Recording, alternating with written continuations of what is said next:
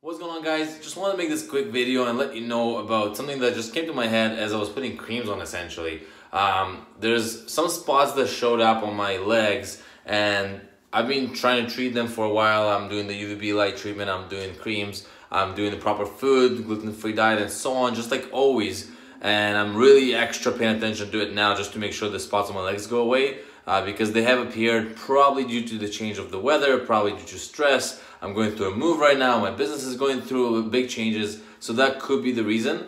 So I just thought of this, like whenever I'm doing a treatment, um, I always kept in mind that things will get a lot worse before they get better. And right now, uh, the spots on my leg, I don't even want to show you. It's the same spots as we always have. Actually, you know what? Like here we go. I don't know what you guys can see.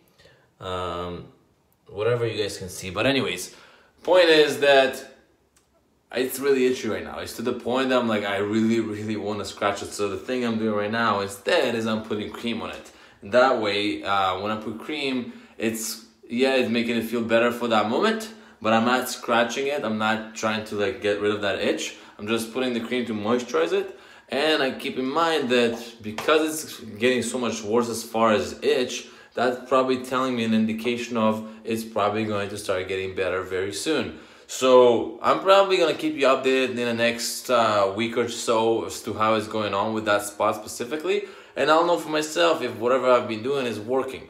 Now, something that's been on my mind, I'm not sure if I'm gonna do that yet or not, is cut out chicken completely. Uh, now, I'm not saying the chicken is the cause. I'm just saying that I'm going to try this out for myself because I've noticed that I haven't had red meat in a long time. I'm pretty much gluten-free almost 95% of the time. So what is another thing that kind of it's always in my life and always I'm consuming and could be the reason? Could be chicken. Um, not 100% sure I'm gonna do that just yet, but besides the point of this video, I just wanted to throw this, throw that in there.